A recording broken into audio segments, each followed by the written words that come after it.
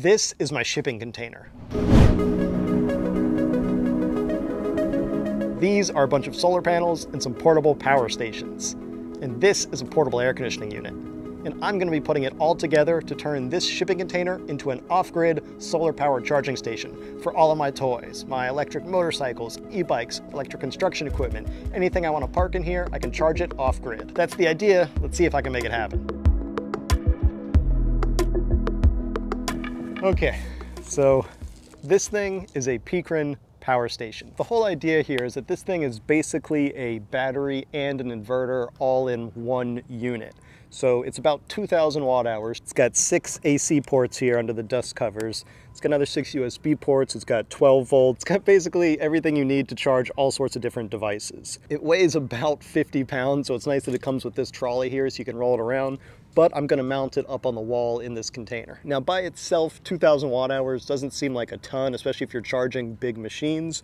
So the nice thing about this system is that it's expandable up to 8000 watt hours. This is the Pecron EB3000. This thing adds another three kilowatt hours of capacity, gets the system up to five kilowatt hours, but we can go even bigger. With this, we should be at 8,000 watt hours, and this is gonna give us a ton of capacity. Now, to keep all of these charged up, you need solar panels, and I'm gonna be using these 200 watt panels from Pecron. You'll see that they kind of accordion out, and you've got four segments here. Each one of these 50 watts to add up to a 200 watt panel. This system is capable of 1200 watts of input power, so I'm gonna need five more of these panels. Fortunately, I've got some right here. Now this isn't the cheapest way to do this. You could go with a custom setup and you'd save some money. You know, you can basically use your own battery bank, your own inverters, your own bare solar panels. But Pecron heard that I was going to be doing this solar container project and generously offered to send me their kit. So I'm excited to test this one out, see how it works. It's definitely going to save a lot of uh, effort trying to put together a custom kit when you can just use a you know, pre-made, ready-to-go retail system like this. Not the cheapest way to get it done, but saves a lot of headache.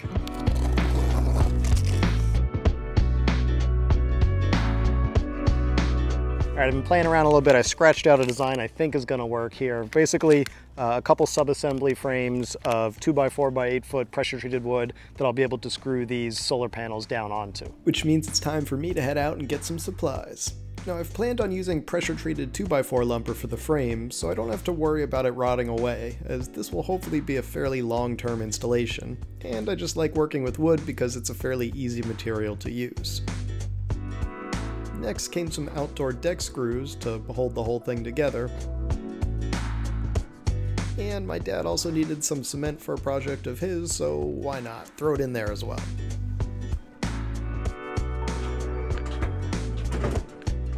Once I started laying out the design, my dad happened by and showed me where years of wisdom have its place. Why cut a pile of cross pieces when I can just run the 8 foot 2x lengthwise to support the entire length of the quad panels instead of shorter pieces to support each individual panel segment?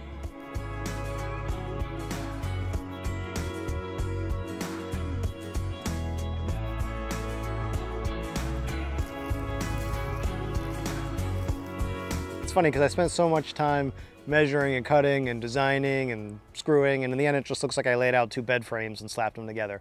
But this should be perfectly sized to fit all six of these 200 watt panels. Next step is going to be somehow getting these up on top of the container. I know it doesn't look like much, but these are freaking heavy. So I think I'm gonna need the loader for this.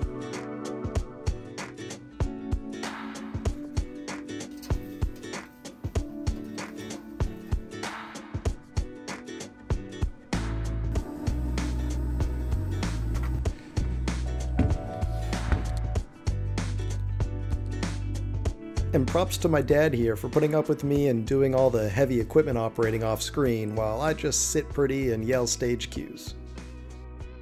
Hey Dad, so it's backwards. It'll need to get turned around.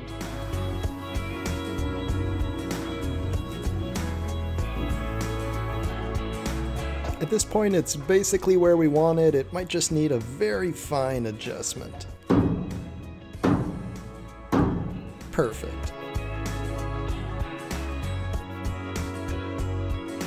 The last step for the frame was screwing the two big pieces together. I know what you're probably thinking, how is it going to stay up there? I had a plan for that. It's not pretty, but I cut four shorter pieces of 2x4, and I put a wide enough hole in the end of each one so that once I screwed them into the corner of the frames, I could lash the whole thing down to the container so it wouldn't lift up as one big sail during high winds. I still had another 50 pounds or so of panels to get on top, so I was not looking forward to doing that on the ladder, which is when my dad had another good work smart, not hard kind of idea.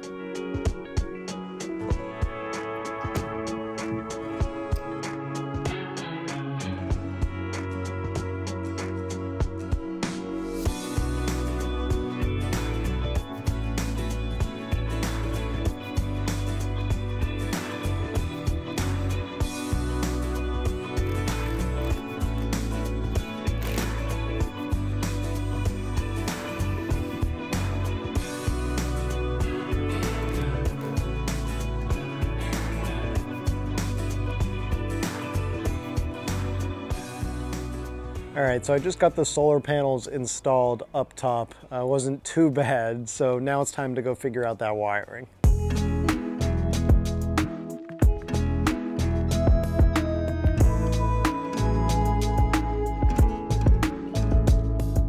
I ran the wires underneath the panels, but they weren't long enough to go all the way around and through the vent hole and into the container, so I got some MC4 solar cable extensions on Amazon so I could make the length work.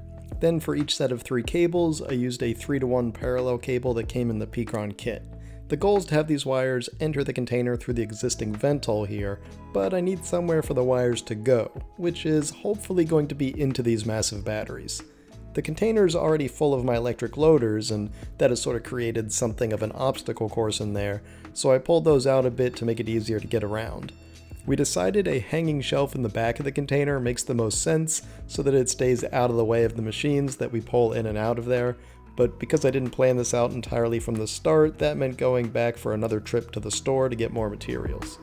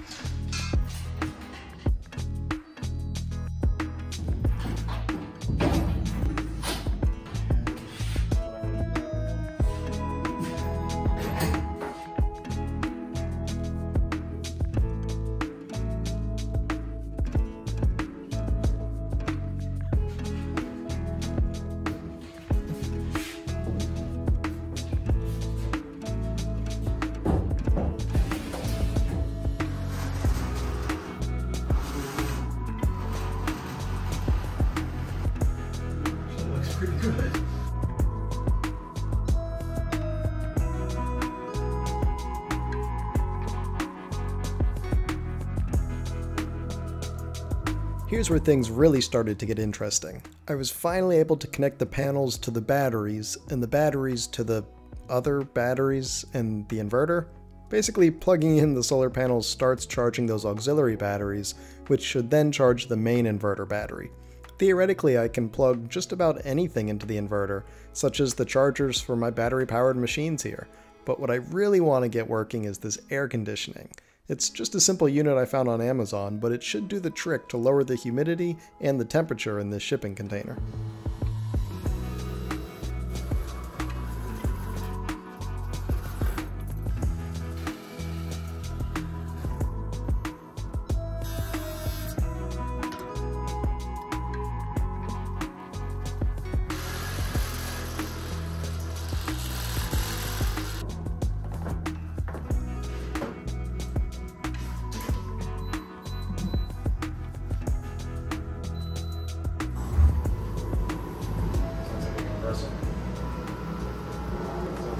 700 or so watts. Pretty cool. I thought it was just fast moving air. Yeah, there, exactly. Well, we'll know when we start getting some uh, water out of the weak line. I'm gonna check the end. It's already starting to feel cool. Alright, so we're up to 800 watts. Reached like 1040 watts and then start going down. So this should be 8,000 watt hours, even if this thing ran continuously DC, that means it should run it for almost eight hours, which it's not going to be running for eight hours continuously. God, I am. this is pretty slick. As much fun as it is to watch air cool, I decided to close the container up and see what would happen after a few hours. And boy, did that thing cool down like a meat logger.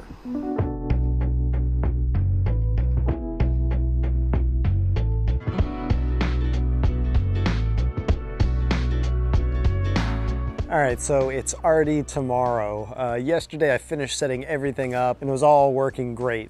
This morning I get up and there's a bit of a problem.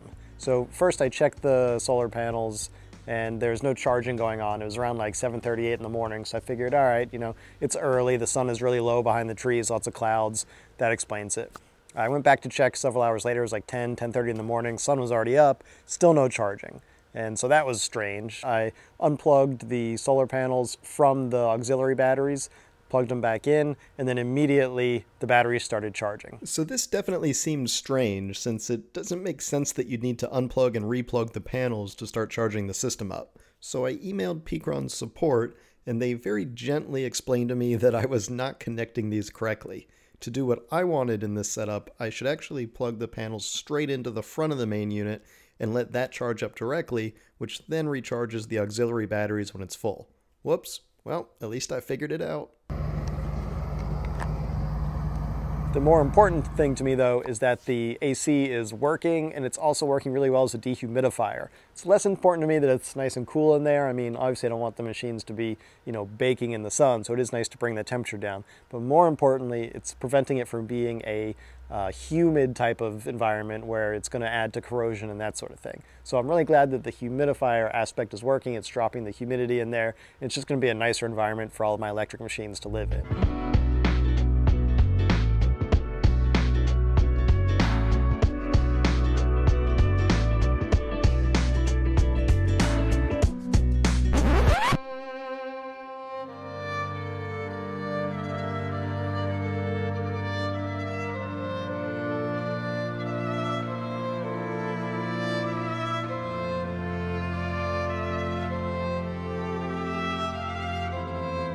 Just kidding, the drone is fine. All right, so the build is basically finished. I'm gonna have my dad keep an eye on this system and let me know how it's going. It's in the shipping container here at his place. Uh, I've gotta get to the airport to head back home. But before I do, it is time for the most exciting part of all of my videos, and that is the bike giveaway. This is part of a program I started called E-Bikes for Good, where at the end of every one of my videos, I give away a free e-bike by partnering with an awesome electric bike company. This week, I'm able to partner with Ride One Up, and we're going to be giving away their Ride One Up Portola. This is a great high value folding electric bike. It is one of the most affordable in their lineup. They've got tons of great e-bikes, but I've been riding the Portola a lot lately, and this thing is a serious winner. It's got those great three inch tires that are super comfortable. It's got a 750 watt motor for good power off the line and to take you up hills. It can get up to 28 miles an hour, so it's nice and fast, or you can, you know, lower that pedal assist and get just a nice easy ride to work out in. Of course, it's got a throttle too if you just want to throttle around like you're on a little motorbike. I really like the design because it is slickly made. It doesn't look like a low-cost e-bike, even though it is. It's only $995, or you can spend an extra 100 bucks if you're getting the bigger battery. There are two battery options, so you can kind of decide whether you want higher value or you want to spend a little more to go a bit further. Even with the smaller battery one, you're probably going to get a good 20, 25 miles of range, even on throttle, though if you want to go even further, that bigger battery is definitely worth it. Like I said, I've tested this e-bike out a bunch and I love it myself, so I know that you guys are going to enjoy it too. In fact, I'm really excited for one of you specifically because this is the chance where I get to give it to one of you. So how is this going to work? Well, just like all of the e-bikes for good giveaways, the whole point here is to find someone who an e-bike could really help them in life. You know, give them a leg up, give them a way to get around, get back in shape, get exercise, visit family, anything that you need. If an e-bike can solve that problem, I want to hear about it. All you have to do is go to ebikeschool.com slash ebikesforgood. The URL is down here at the bottom of the screen. Let me know your story. Let me know, you know, are you down on your luck? Is it outside of your budget? What's going on?